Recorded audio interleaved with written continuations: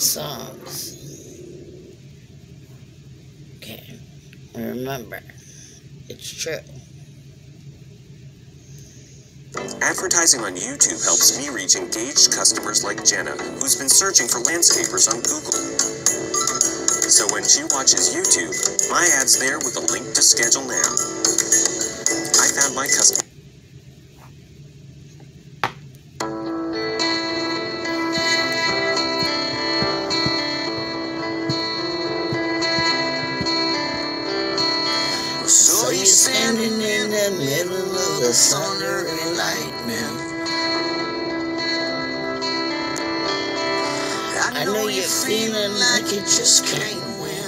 You're trying. It's hard to keep on keeping on when you're being pushed around. Don't even know which way is up. You just keep spinning down, round, down. But every storm runs, runs out of rain, just like every dark night turns into day. Every holiday will fade away, just like every storm runs, runs out of rain.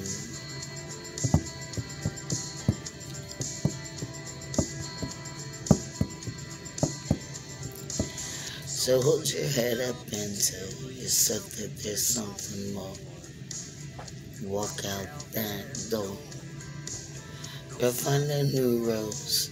Don't be afraid of the thorns. Cause we all got thorns. Just put your feet up to the edge. Put your face in the wind. And when you fall back down, just keep on remembering all your storms will run out of rain. Like every dark night turns into day. Every heartache it fades away, just like every storm wind runs out of rain.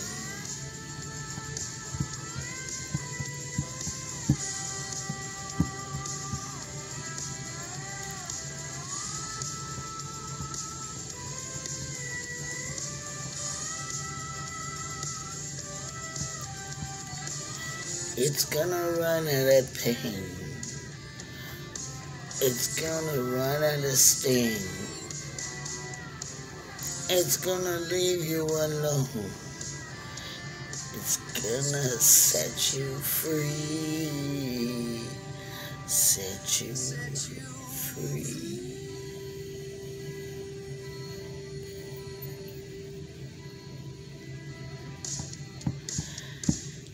Every storm wind run out of rain, just like all your dark night turns into day. Every heartache it fades away, just like every storm wind runs out of rain.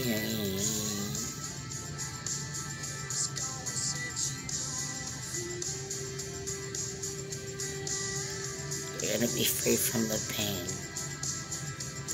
You'll set to peace. A lot of people question what your motives are in life. You know what I mean?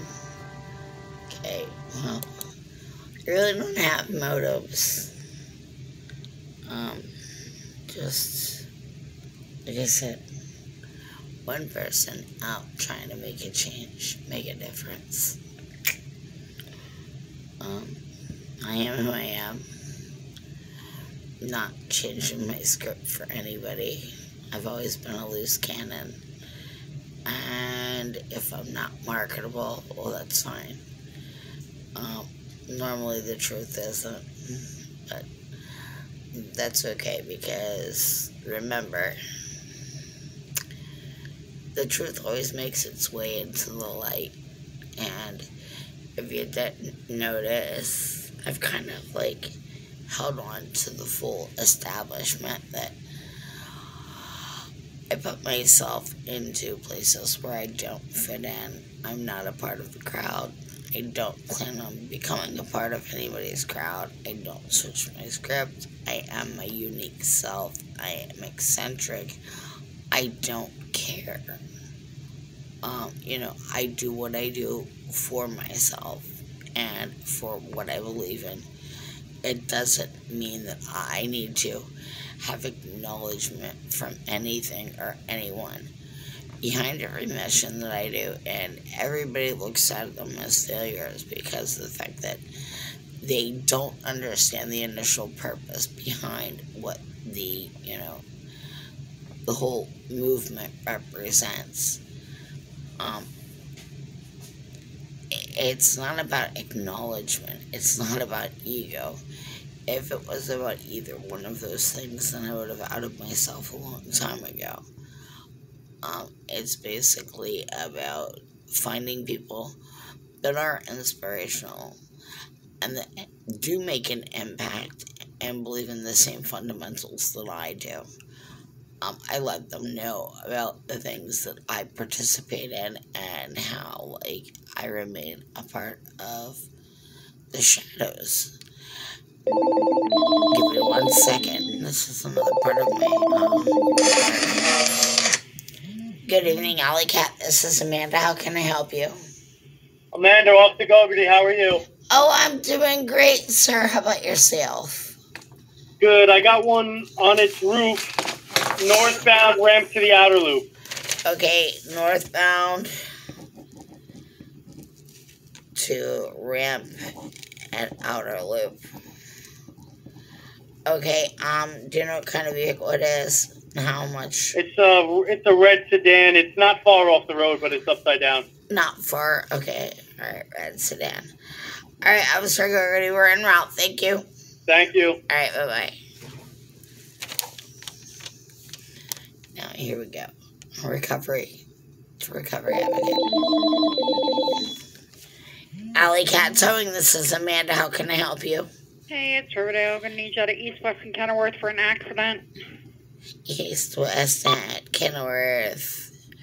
Yep, for, an accident, and it's gonna be two cars, a Ford truck, and a four-door Toyota. I'm not sure what either one of them are other than that. You're fine, you're fine, you're fine. When it rains, it pours. Mm-hmm. Yep, case number is 0925. 0925. All right, we're en route. Thank you. All right, bye bye. Okay. All right. Now watch. One truck, okay? Three vehicles.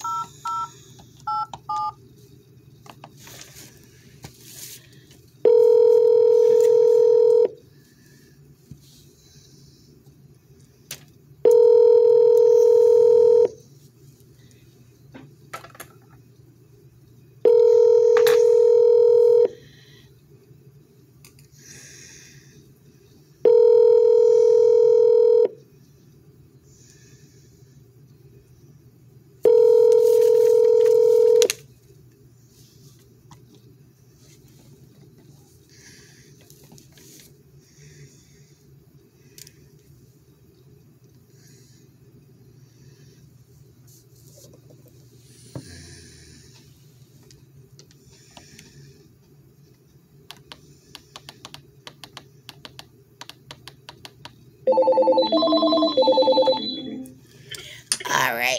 Um,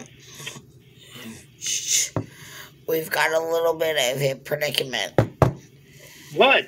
Okay, Gogarty just called. We've got one on its roof, a red sedan, 295 northbound at the ramp for outer loop. Right after I hung up with Gogarty, uh, Riverdale called. They've got a two vehicle at East West St. Kenilworth. All right, well, you're going to have to call Gogarty back and ask them if they give me extended ETA. All right, I'll let you know.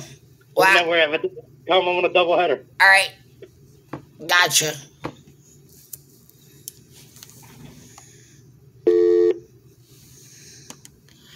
Okay.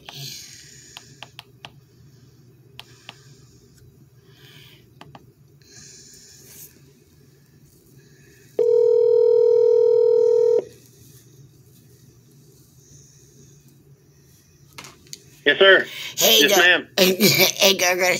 Just wanted to give you a heads up. He's on a double header right now, picking it up. It's uh, a Ford and a four door Toyota right here at East West. Then he's coming back. We're going to be a little bit of extended, but we'll be right there, okay? You'll still be quicker than uh, Ali, uh, A&A, so.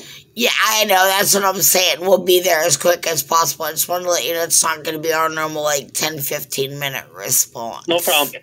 No problem. All right. All right. Thank you, sir. Okay. See, that's what you do. You communicate. You let people know. You know what I mean? Okay. Um. No, I am going to explain to you. Okay. So, my job consists of a lot more than people understand. Okay. Um.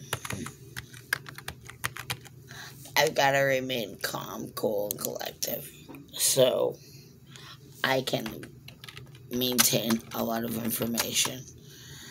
And whenever I have to maintain a lot of information, um, my PTSD automatically allows me to do so unless I get triggered. Now, uh, okay. What's up, Mickey? What do you say? He said, not a problem. You'll still be here quicker than AA. All right, so I'm going to get this hooked up. I guess I'll just jump in 41. That, yep. Go Yeah. did overturn. I have no choice. Yep. Yeah, 32. So, yep. You got this. You got this, buddy. I'm all getting right, everything go. written What up. think? Where, where is this at? Uh, this one's at East West at Kenilworth. And it's for All a Ford and a four door sedan. All right? All right, bye. All right. Okay. So, like with him, okay. What a, a, an amazing driver.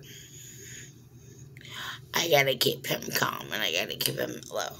So I can't have people, you know, getting frustrated with me. It's very difficult what I do. Um, I have to listen closely and I have to uh, understand and be patient. I, have no patience. Okay, patience is a virtue they didn't acquire. Um, and literally, my job has given me this patience. Uh, I was pretty much blessed with the opportunity to find a calling.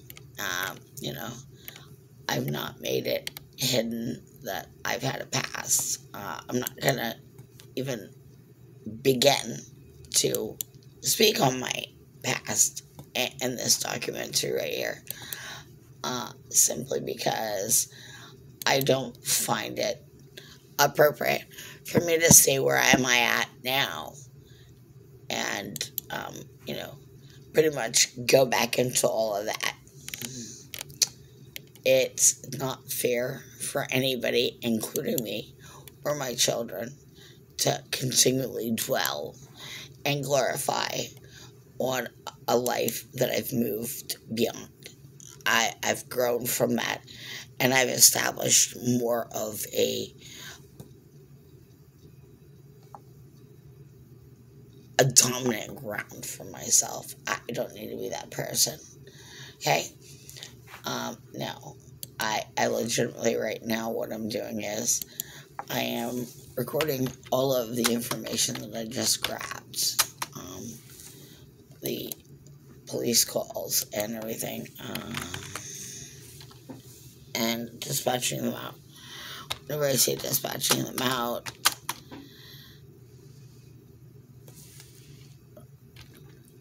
I am sending a driver to retrieve accident calls.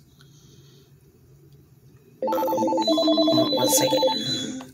No problem. Go ahead, Mr. Officer Gogarty. Hey, uh, Maryland State um, showed up. They're gonna get. They're gonna be working on the tow for this. That Maryland State's gonna get it. yeah, they're Alright. they're taking care. All right, I Sorry that. appreciate. No, not a problem. Not a problem. Not a problem. And, and uh, next time, right? Yep, you got it. And, and you just be safe out there, sir. You be safe. All right, take care. appreciate it. Bye. All right. All right. So that's uh one one thing. Okay. Cancel. Okay. Okay. All right. Um. So that's generally what goes on, and as you can hear, um, my job consists of a, a lot of different variations of things, and I get very stressed out at my job very easily because things like that happen. Like, you know, I will have to make arrangements and things along that line, and then automatically, like, right when we're pulling up or, or something, someone cancels.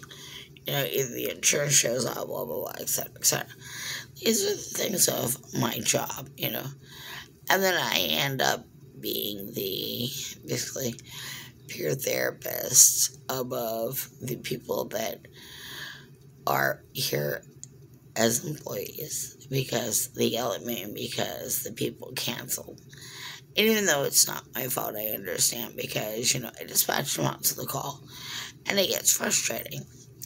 So it's understandable. And then I noticed that I treat people like I wanted to be treated whenever I first started doing it, it got me a little bit out of my shell because, well, I'm not much of a people person, you know. I used to like to be whenever I was performing, but as time went by and, you know, more situations occurred, I became a little bit more uh, quiet into myself and remained uh, around a very limited circle. Um, you know, and basically, then one day I just decided that I no longer wanted to live in silence, and, um, well, I found a new way. And I do a lot of art. Artist. I'm an author, you know. I am an advocate for mental health and, uh, you know, dual diagnosis with addiction. Um, I have a personality disorder. Everybody says it's like resting bitch face, which you do have resting bitch face, trust me. Like, I can tell you a story, and it can be the most off the wall story, and completely maintain like a legit straight face. Um, it's kind of funny when when you think about it, but there's so much more to me than meets the eye, and I don't let a lot of people see it because, like, I feel like there's no point to it. You know what I mean? It's like I made the movement. There's no room for me. But like I said, I'm that kind of bitch who'll start and pull up a table, throw it smack dab in the middle of everyone, and start pulling in like chairs, like legit. And I'll start pulling in like minded people, and we'll expand from there, right? Like, don't play with me, right? Whenever I have a will, I have a way. I, I'm not in this to, you know, do I think that I'm going to get rich? No, because I'm not marketable, okay? I'm the truth. I'm reality. I'm a neutral factor, and I'm what people don't want to see. I keep it blunt, I keep it to the point. I'm what people will watch and I'm what everybody hates because of the fact that I'm the outspoken bitch that nobody wants to go public, but yet she just wants to make it better for her children. And it's not like I'm sitting here trying to push some type of political agenda or anything. I'm just letting you know what I have found to help me out. Um, if none of you have ever saw the movie The Descendants, I associate my life a lot around the Descendants, and whenever I say that, I mean that you know, it's like my parents were, were trapped within an evil land, and me being their daughter by default, I was trapped in that land as well. There was nothing better. It was just the land of the forgotten. You know what I mean? And, and there was no room for being better because that was as good as it was going to get. You couldn't dream for anything bigger. And then one day a door was open for me that I, you know,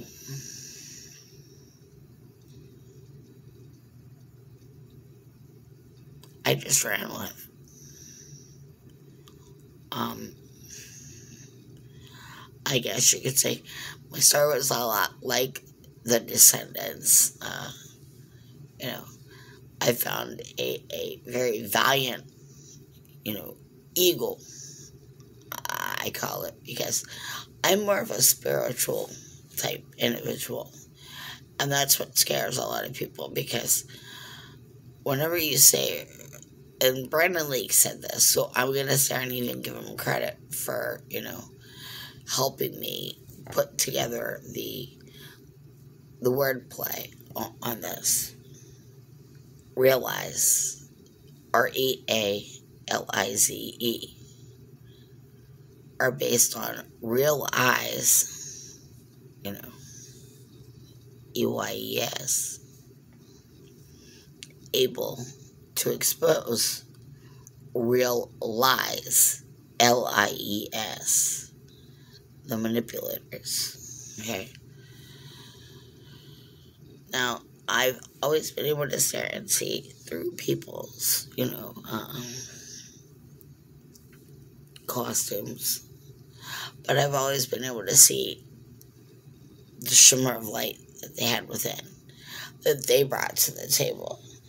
And with that being said, a, a lot of people just bullied me and pushed me out the way. Nobody wanted to hear what I had to say.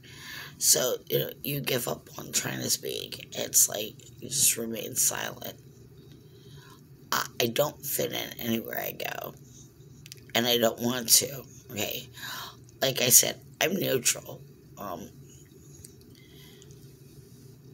over the past three course of the years, whenever I'd show up at my events, I'm gonna let you know. It's been a, a little bit of a a letdown and a little bit of a setback each time. Because you notice how little priority is taken into putting together the events. You know, there's little pride in it, and you can tell it's just something that is there for like a cosplay type situation. It's like LARPing, you know, live action role playing, where you get to show up, you know, put on a spectacle for the crowd. You do the queen wave, and then you retreat. You know, you associate with the same people. You don't give new people a chance. Uh, you try to bully the newcomers, blah, blah, blah, blah, blah, etc., etc. And then for the old players, that you can't get on board to follow your role and your suit. Well, you treat accordingly. And when I say you treat them accordingly, you pretend as if these people have nothing to offer the world. And in addiction, that's the number one thing that is problematic and very much a, an issue, okay? Uh, we wonder why we're not getting anywhere. Well, first off, um, I don't need someone being critical and, and judgmental because they don't understand, you know, all, the things that I went through. And yet they want me to promote them and then have no respect for me at the end of the day to even let me know the truth. Um, now you've got me. Uh, I'm the asshole that explains to you that I know for a fact. And, and like, I can quote them, and they'll quote themselves. Um, yeah, at, at the end of the day, if they get a scholarship, they might say that, that they'll get you scholarship into some place. But the choices are that they've got so many people that they've promised these scholarships to. The chances are that you're that lucky one. And, like, legitimately, I'm not even sure what you're winning at, at this point. No lie. Um, you're seeing so many downfalls with these scholarships. You know, it's like, so you get what a week on on a bed, and then what? Okay. Know, like, what's the after plan? Like, legitimately, like, how can we sit there and how can we begin to look forward to bringing a change into somebody else's life that they can be proud of if we legit say, okay, so you're all better now. You stopped shitting yourself. Um, you've got enough fluids in you. Your detox is done you're not puking all over yourself anymore. You're good to go.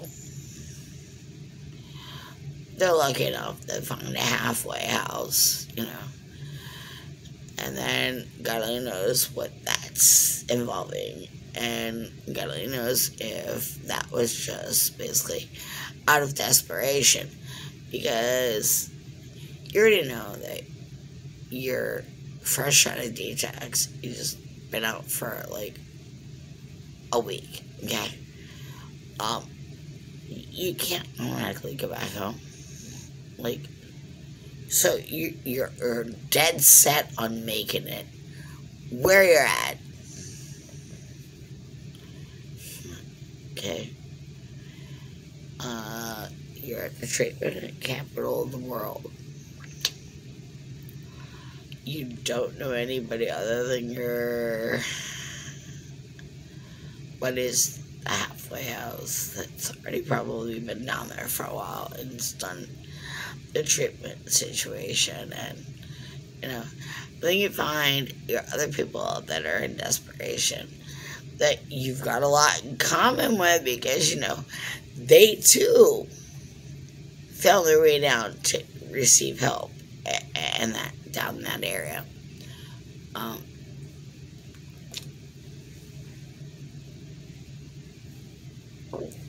and, and yes, I'm sorry. I've got a headache. I apologize. I need to take some Advil. Oh no. See, um, yeah, I never have been a part of the opiate problem. Uh, I didn't like pills, basically. They don't affect me the same way with my my, my personality disorders. Uh, apparently, with, you know, all, all, the struggles and all that, my mind's uh, a little bit too far either gone or advanced, one of the two, whichever way you look at it, to be affected by the um, narcotic effect of it. And I, I was never a uh, heroin fan. Methamphetamine, same situation, except for the fact that I was allergic to uh, Sudafed and all that, so it made it pretty much impossible for me to become, you know,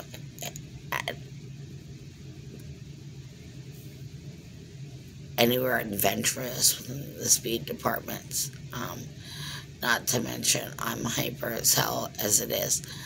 I don't need to speed up my processes. Uh, it was mostly, you know, a, a coke problem and a crack problem. Um, now, I am very much a medical marijuana practitioner, and I also am a very firm pusher of it. I believe that it works miracles simply for what I have learned and studied from a first hand basis. Like, legitimately, since the whole marijuana movement has become a part, I have been studying, you know, different strains to help with maintaining my alters, maintaining my mood stabilities, and I've written it down and I'm keeping track of it, you know. And what a better way to start off than primary source number one. Uh, for those of you that are like, well, you're just a poet. No, actually, your mind actually generates THC, and some people doesn't have that. Me, I lack of a lot of emotions, and I, I lack a lot of dopamine and, and stuff like that because I'm very emotionally distraught. Not a lot of things bring me joy, and I, don't understand that because the joy brings me fear. And with admitting that, that's something that I hold accountable. Um, most of you cannot imagine the uh, amount of courage that it takes for me to sit here and actually get through this without showing any emotion to show you the warrior that remains within. Because this is some pretty critical shit. You know, uh, I legit know what is going on with me. And I deal with it on a daily basis. I move forward by using my art as a platform. I used to stare and want so bad to establish a team. A team that we could network out to and we could all sit down and talk about it. That way we knew that we weren't alone and we could all come from different areas and, you know, different formats, different places for where we're at in life. And we could be a support system and a network for each other.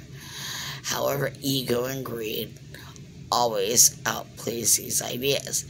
And you had to stare and have people that were assholes and bullies, and they needed to be shut down.